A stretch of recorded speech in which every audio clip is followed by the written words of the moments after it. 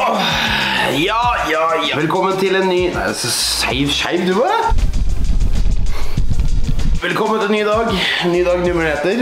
Som jeg sier hver gang jeg er i Bergen. Jeg tror jeg blir påvirka av den der sneakeren Emse. Han, han er fra Bergen, eh, men han bor jo oppe i Ørsta-området. Nå har han forstått i Oslo, mens jeg er i Bergen. jeg så det på Snap i går. Men hver gang jeg er i Bergen, så er han derre God, morgen, YouTube. Ny dag, nye muligheter. jeg tror jeg blitt miljøskada av det der. altså. Det som er på agendaen nå, er at hver gang jeg er i Bergen, så besøker jeg selvfølgelig eh, kompiser av meg. Jeg skulle gjerne sagt hei til Robert, Norway opp, men han har dratt for anledningen. Han har dratt noen sånne top secret-greier som ikke kan fortelle om. Det er litt hemmelig. Så han får jeg ikke gjort noe med, men det er ikke noe krise. Jeg traff han sist, så det er hyggelig. Men det jeg skal nå, er at vi skal selvfølgelig gå og si hei til eh, den hyggeligste bergenseren i det området, nemlig Morten Lyngøy. Jeg tenkte det at eh, vi har jo besøkt eh, Lyngøy da, ja, to ganger på hans garasje på Sotra, og sett Superaen sammen, og så har jeg sett han litt i aksjon på natt til første i Skien. Jeg rakk det akkurat når jeg kom ned der. Så begynte han å kjøre akkurat, da, så jeg rakk å få meg litt grann av kjøringa hans der. Fantastisk fyr, fantastisk kjøring. og så er det slik at jeg skal jo bli pælma inn den bilen her i løpet av sesongen i hvert fall. Vi skal prøve på det. Lite håp om å få det på Lillesand. Eh, Det er liksom hans hjemmebane, som de kaller det for. da. Så det er der, der han kjører ganske bra, så jeg tror det er ganske bra opptreden å bli med på der. Men han driver jo Espeland Rekkevita-senter. Eh, Der også meg og Thomas, altså motorfolk, eh, ødela den der Passaten.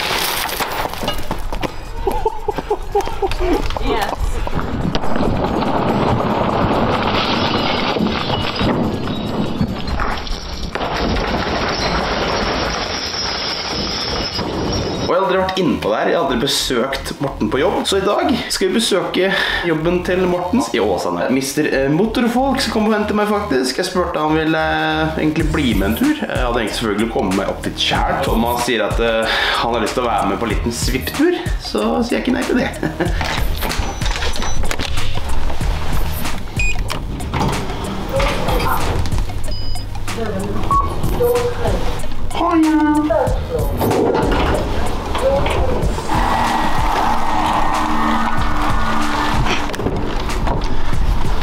Hallo! Jeg må ta setet bakpå, så denne store mannen kan få plass. Nei, du, kan, kan vi slutte med det her? Nå er det overalt her. Ja. Velkommen til Bergen igjen. Begynner jeg bli lei av å si det. Ja, men denne gangen så er det regnvær, eller mer regnvær i hvert fall. Velkommen til Regnbergen, da. Sånn det skal være. I syden i hvert fall. Nei, det var faktisk ganske varmt sist det var. Var 20 grader. Jeg fikk lyst til å ta den luken. Da hadde du blitt redd. Du har blitt redd. Du har blitt redd, min venn. Kom igjen. Ja, det går fint. Jeg tar den. Oi, helvete, jeg glemte det. Jeg har sommerdekk på, så nå eh, tør jeg. Nå, nå, nå, nå. Oh, det er F3. Hallo? Oh, must... Ah, nei, jeg har hatt... Ah, what? Det blir fint å ha her. Bor du alltid ved siden av? Det er jeg Nei, det er hver gang. Er verst var jeg var på Rema 1000 der i går, nabobygget der. Å ja, så så ikke Nei, du så det. jeg ikke det.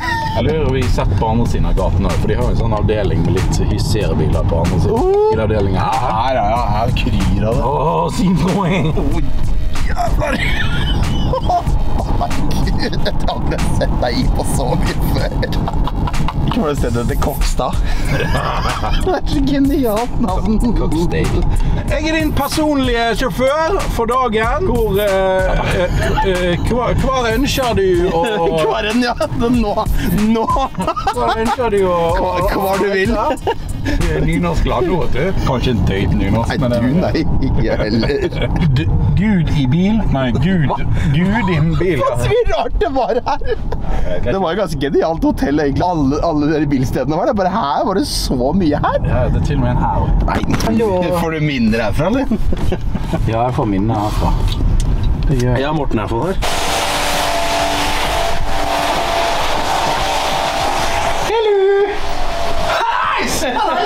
Hei, jeg deg. Jo, likeså.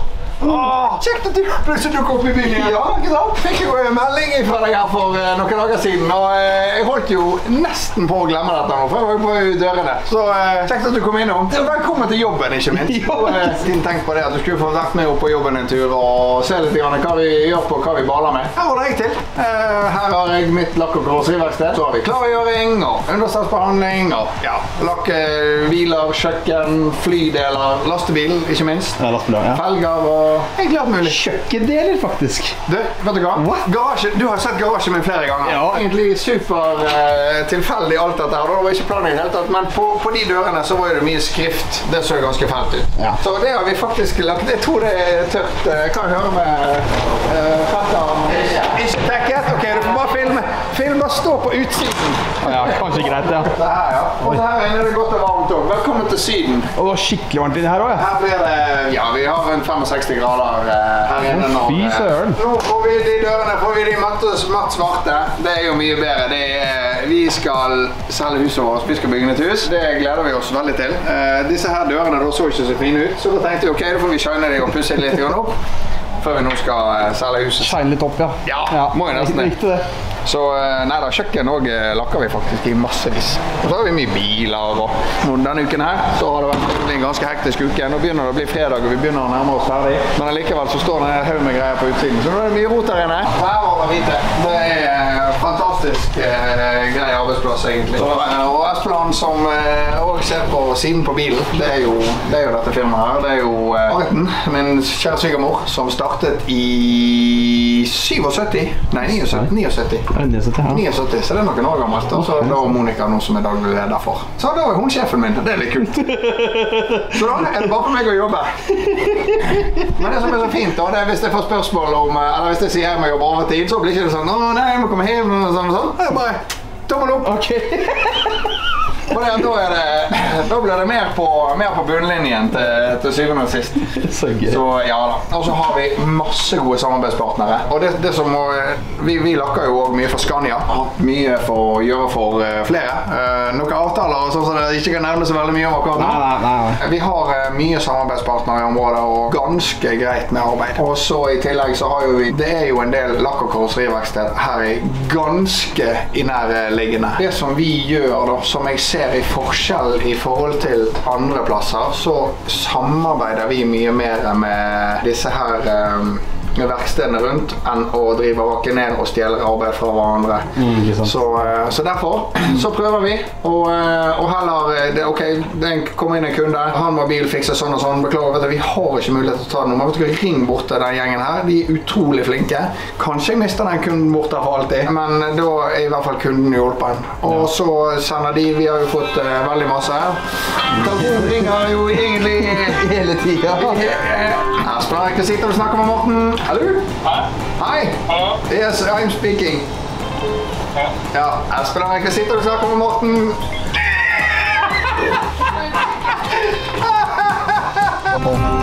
Selvfølgelig, der ringer telefonen igjen. Ja, det var det jeg sa. Du må ikke sette nøkkel igjen. Vet du hva?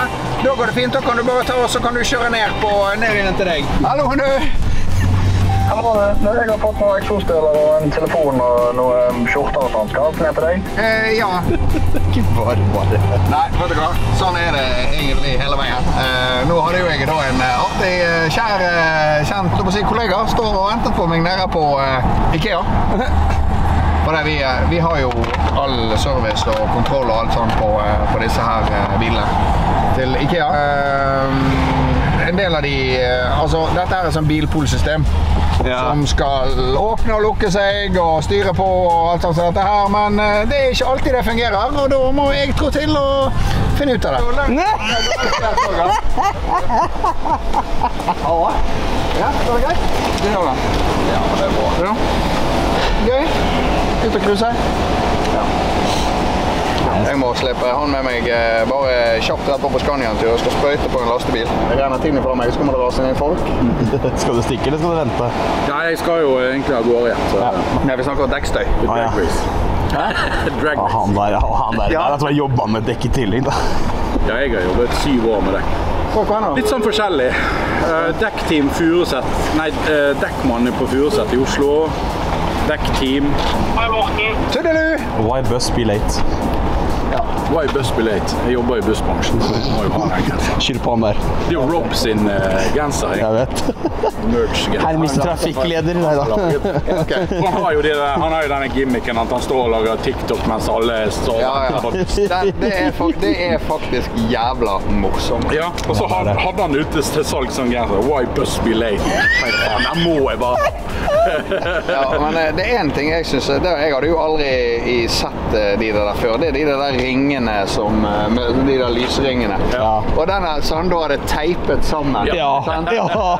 Det, det viser ikke hvor mye har han brukt den egentlig. Litt for mange ganger. Ja.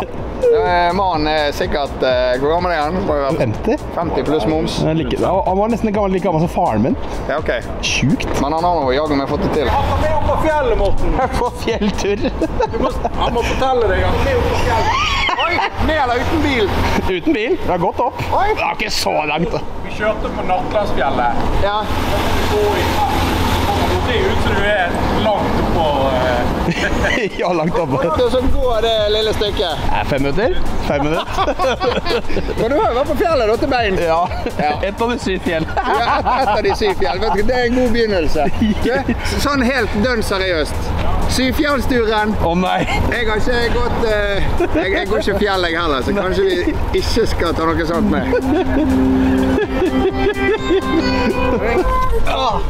Back here again. Ja, det er dritbra. Da er vi endelig på plass igjen i uh, Utrolig kjekt. eh. Vi har, eh, vi har et samarbeidsverksted som vi gjør veldig mye for. Så nå må jeg eh, rett bort der og så gjøre en uh, kjapp, kjapp, kjapp liten jobb. I tillegg en ting, det er jo det at hver gang du kommer, så har jo det alltid vært det at da skal vi til med noe nytt.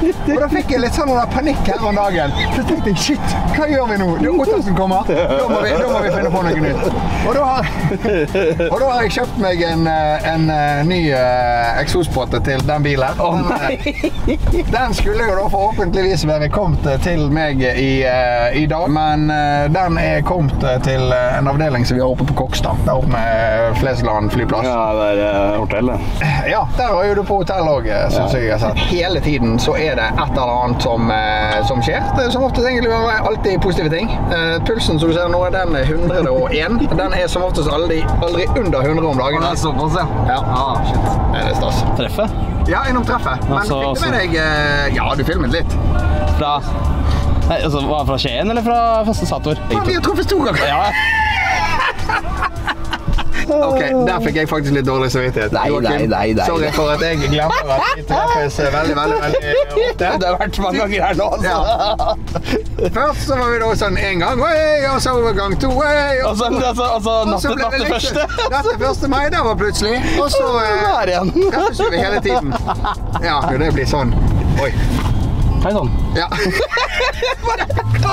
Bare hei! Det er date, og så kommer den der. En kasse, ja. Bare, hva, med meg, liksom? Ja. Vår eh, kjære venn Kristian Erlandsson i uh, Sverige han holder på å sveise om eh, traversen. Eh, de har vært og kjørt i uh, Irland nå i helgen som var, og han er på vei hjem igjen. Så mandag 16. mai da begynner han på, uh, på den. Forhåpentligvis så er han ferdig 17. mai. 17. mai er jo heldigvis ikke en sånn nasjonaldag i Sverige. Nei, Norge er det det, men det Før, når jeg var arbeidstaker, så var jeg sånn at åh, alle, våren var så fint, og mye fridager og. Nå, jeg hater det. Det er det verste jeg Får ikke gjort noe. Får ikke gjort noe. Uken deles opp, sant? og så folk spør ja, kanskje jeg får en sånn fridag innimellom. Sånne inneglemte dager. Ja. Og, eh, og ja, altså, det, det er jo for dumt å si. Det er jo litt kjekt når gutter kan ta seg litt fri og litt langhelg og sånn som det der. Mens vi andre, hva gjør vi på? Jo, vi er på jobb. Da skal vi møte min uh, kjære venn Svein her borte, som uh, vi, har, vi har ikke glemt. Vi kan ikke si på TV at jeg har glemt en kompis. Men, da. Nei, da prøver vi på nytt. Skal vi se om vi klarer å hjelpe han med det som vi skal hjelpe han med. Selvfølgelig fantastisk flotte, fine folk fra eh, eneste og beste dekkrommet i hele Norge. Vi skal, eh, de bytter hjul på alle disse bilene her for oss. Vi har jo prøvd å starte den noen ganger, men det gikk forferdelig dårlig. Det som jeg tenker det er til eh, høst igjen, det, når vi skal bytte hjul, så tenker jeg da for eh, da får du ta og eh, skal jeg laste ned den appen til deg, så kan du sikkert altså åpne de, åpne de sjøl. Sånn. Ja. Takker for at du står og venter. Så Prøv å se om du klarer på den. Nei, ikke sånn på Ikke Nei. Ikke den, ikke den, ikke sånn. Jeg, tror ikke det hadde gjort det så voldsomt. Det ble dokumentert eh, dårlig. Eh, veldig dårlig. Ja, det var den vi skulle se om eh, kort eh, Det ligger drivstoffkortet. Ja da. Ja. ja. Vinneren var vinneren, men eh, her får vi ikke noe sånn her eh, Dette her gjør vi titt og ofte fordi at folk er uheldige og roter vekk disse kortene. Er det ikke best å legge kortet oppi der, liksom? For gjør ikke folk det? Ja, men nei, det, Å, ja. Jo, du, jo, du kan jo legge den der. Også. ja, men det som er det, den skal stå inni her. Ja, ja. Skal det, ja. Nei, er du gal? Det går ikke. Kan ikke gjøre det. Vet du. Nei, det går dårlig. Nei, det, du, jeg bor jo nærme grensa. Ok, vet du hva, vi skal rett og slett ta oss her og se om vi finner noe, eh, finner noe litt grann. Oi, nå står en stakkar og skal kjøre ut her. Må vi flytte oss, ikke vi... eh, Ja, ut av bilen. Ja, typisk disse bilene eh, at det blir litt problem. Men nå er det med reservenøkkel, sånn i tilfelle. Sant? Og oppe her så har jeg et nøkkelknippe. Da henger det biler til alle disse her. eh, Eller nøkler til alle disse biler. Yes, var. Kjempegøy ting. Jeg gjorde her om dagen. Kan du, ta? Ja, skal registrere at det er Ja. Kanskje sjekke opp også? Eller registrerer jeg bare hvis det er noe her? Jeg. Ja, vet du, hvis det står sånn. Han ble rød! Hæ? Jeg visste ikke det var en greie. Sånn derre denied eh, Ja, jeg skulle prøve å lage en artig TikTok-video. Ja. Men eh, vet du hva? Det ble faktisk egentlig bare forferdelig teit. ok, i dag er det sånn ut på tur, eh, aldri sur-dagen. Nei, se på det her, da. Se noen som spotter, spotter igjen. Jeg venta på det. Ja, ja. Det er alltid like gøy. Kjekt det hvis det noen eh, plutselig eh, Da, der var Ottersen i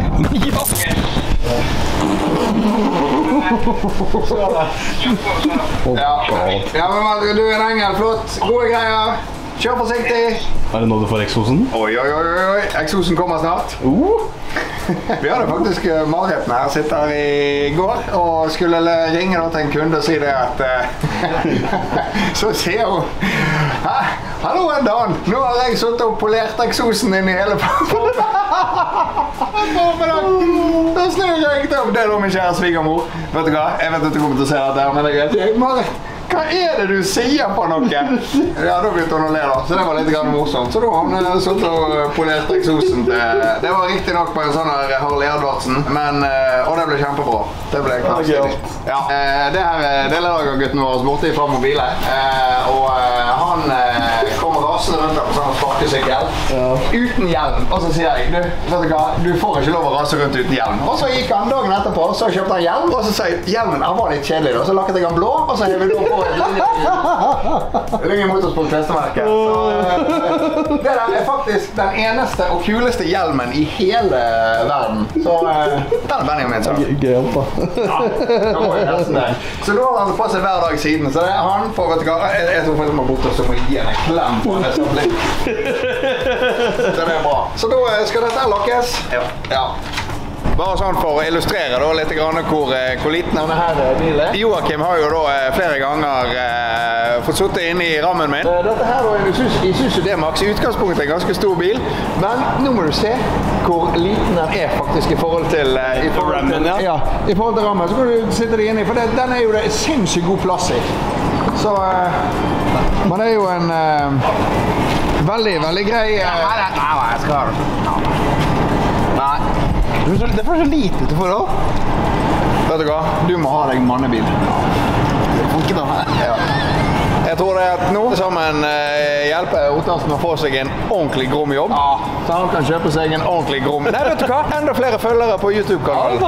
Ja, det gjør vi! Ja. Ja, ja, Ja, jeg tror det er veldig, veldig mye bedre. Sånn at du får noe gøyere enn en Isuzu. I utgangspunktet Isuzu. Gode biler, det er det. Japansk, det er supergod kvalitet. Men eh, du, du du kledde rommen Ja, mye bedre.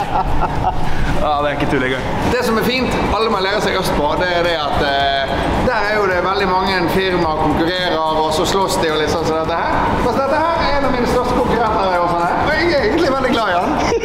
Resten kan vi ta etterpå.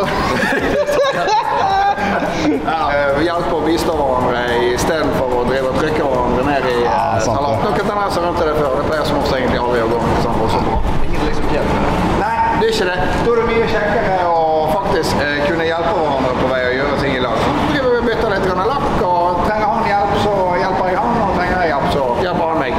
Mye bedre. Så fornøyde kunder. Ja, det er helt riktig. Kunden er alltid viktigst uansett. Det er sånn litt casen her òg, da. Petter er jo tross alt broren hans. Han kunne jo begynne hos han, men istedenfor så begynte han hos meg. Vi fant ut at Petter, vet du, hvis de to skal drive og så kose for mye i lag, så blir det mye sånn intriger rundt middagsbordet.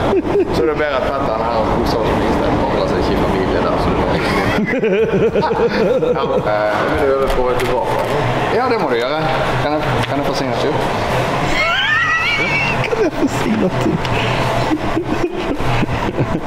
Sel nå selger du sjelen din til djevelen. Jan Thomas.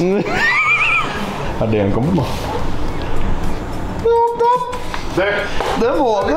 Og med litt tilfeldighet når du kommer på besøk, så eh, Eller det har jo ikke vært tilfeldig tidligere. Det er det at Da har vi alltid noe gøy og nytt vi har kjøpt. Vi skal på eh, bilen. Denne gangen så er det Dodgen som har fått seg eh, unboksning, unboxing, kom igjen! Ja, fuck opp på unboksing. Det er jo sånn eh, Ja, YouTube-materiale. det er YouTube-materiale. Ja. Det her, det her er jo lister til eh, Da når vi lakkerte bilen, så demonterte vi noen lister som, eh, som ikke Altså, når du tar de av, så ryker de. Ja, engangslister, ja. Oi, oi, oi, oi, oi. Skal vi se her. Mobilmegleren, den er jo ikke til meg. Nei. Nei, og så har vi noe her. Det skal til Toril. Og så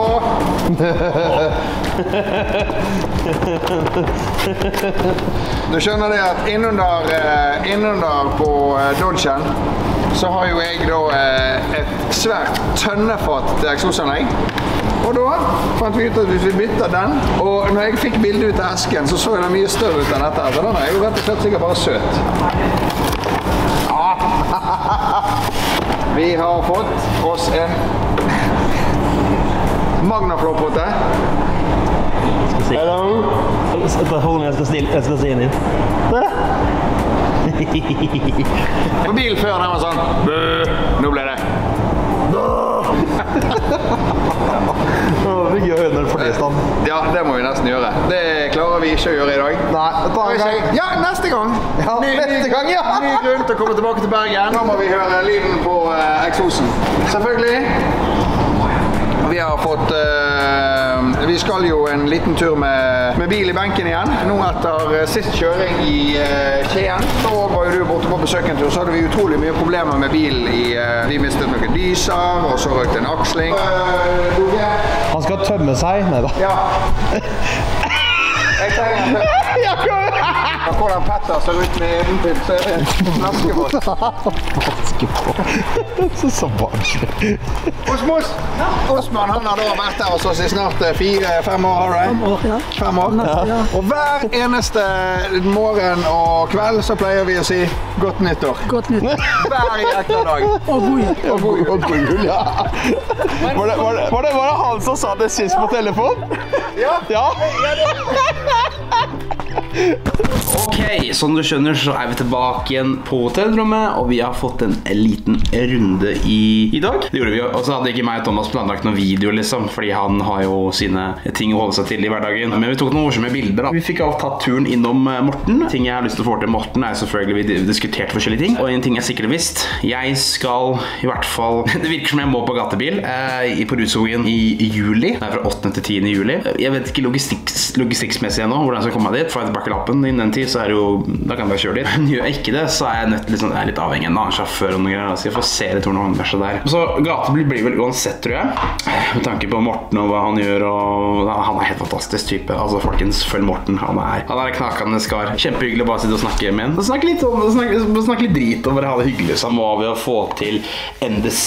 Jeg har aldri, aldri vært på NDC, eh, og NDC begynte vel å Jeg vet ikke helt når det starta, det husker ikke jeg. Jeg har ikke fulgt med det så mye, men jeg skjønte det var en stor greie i 2020. Eh, Jeg husker ikke helt, han- jeg- gjerne rett opp, men det var fordi det begynte å komme på banen, fordi var det slik at folk fikk det mer med seg. nå. Jeg skal prøve å komme ned til Lillesand, eh, Gjøksen Lillesand der, langs E18 her. for det er runde to av NDC, på det glade Sørlandet. Eh, og jeg har ennå ikke vært på Sørlandet i år, for det har ikke skjedd så veldig mye i sør, altså rundt Kristiansandsområdet. Så spør meg liksom sånn når skal du ned til Sørlandet og sånt, og veldig, veldig hyggelig at folk eh, spør etter meg og savner meg og sånt. Og jeg har vært mer i Bergen da.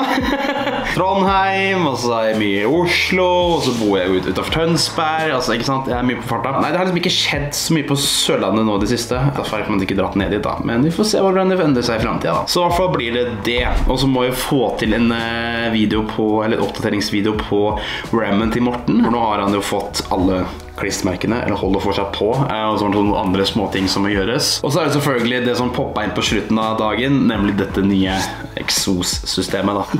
At den skal få en grommere tone. Det er mye tunneler her i Bergen, så jeg gleder meg til å høre det i tunnel og bare egentlig utenfor. Så jeg, jeg tror mange av dere har lyst til å se en oppdatering på den Dodgen her. Jeg tror det kan bli kjempefett. Så tusen takk du så på denne videoen her. Nå er klokka, klokka bikker snart 12 som du ser. Jeg er trøtt. Jeg er dautrøtt. Jeg har jobba ræva av meg siste uka. Det legger jeg merke til nå. Altså. Altså, det er hardt å drive med det her.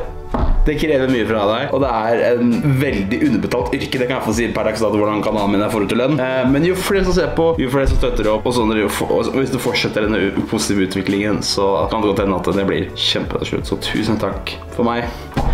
Og så skal jeg gå og legge meg. Over ut, folkens.